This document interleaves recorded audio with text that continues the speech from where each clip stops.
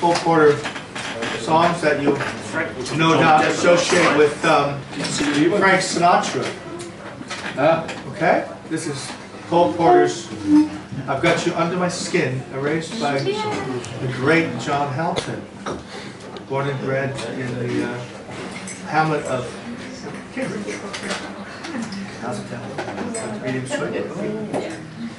Yeah, a little bit of a low, low, march tempo. Haven't seen him in years. One, two, one, two, three.